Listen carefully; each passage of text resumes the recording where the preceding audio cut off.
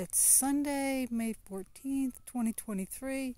Time for another fireside chat with Dizzy, and I don't know where the little fuzzy puppy dog is. And, oh, I just heard her coming, so she might show up. Oh, there she is. Hey, Fuzzy. You gonna come over and say hi? There's the puppy nose the fire's a little smoky today. I was doing some stuff and wasn't keeping a good eye on it, and it burned down a bit. But it's catching again. What I have that I'm burning tonight is I had an old pallet that I just cut up, and uh, that's what I'm using for the fire. I still have the rest of it over there. So let me see. This week, past week, I was able to get the whole garden weeded fairly quickly. And once I had the garden all weeded, then I started on the uh, quote unquote orchard. Uh, got almost, but not quite a quarter of that done. Uh, would have probably gotten more done, but it's kind of hot this week and made it kind of hard to get stuff done. Up oh, there's the puppy.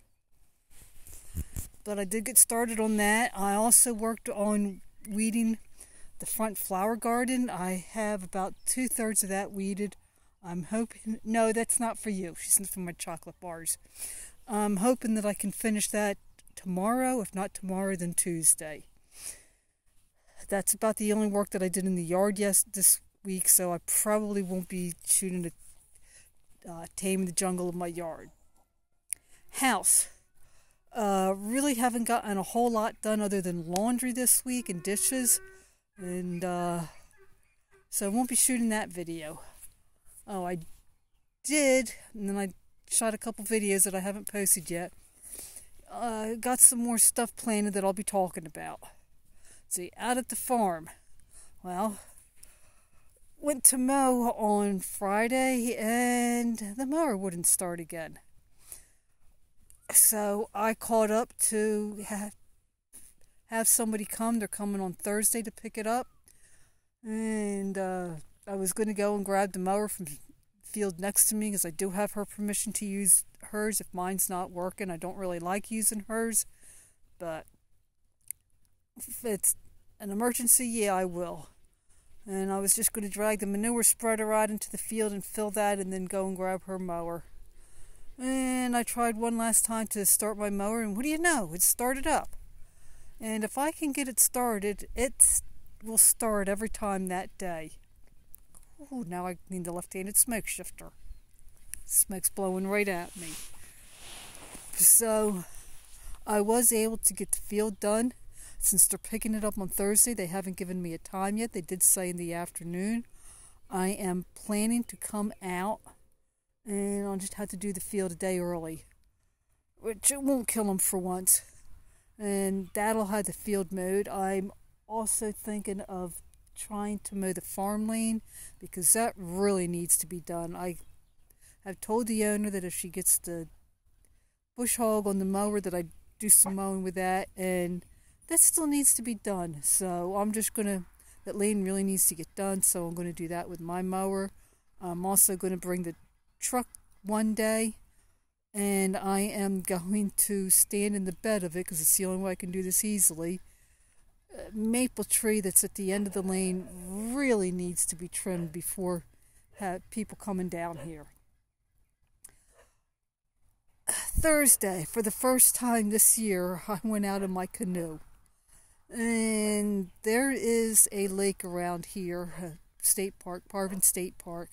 It's one of my favorite places to canoe. Only problem is, from Memorial Day through Labor Day, they charge you to put a boat in at the boat ramp. Doesn't matter if it's a canoe or a kayak. Last time I checked, it was like twelve dollars. It's like there's no way I'm going to spend twelve dollars just to put my ca- canoe in the lake. So we went out in the lake. There is a little town called Centerton near Parvin State Park. It has been my dream for years to be able to paddle all the way upstream to Centerton. Well, it was the farthest we ever got, and it got to a point where it was not easy going.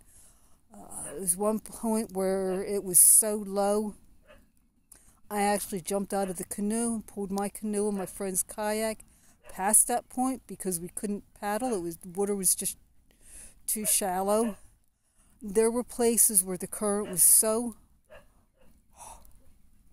hard to paddle against, and it was pushing the canoe more than my friend and her kayak. Uh, got tangled up on the same tree going up and down.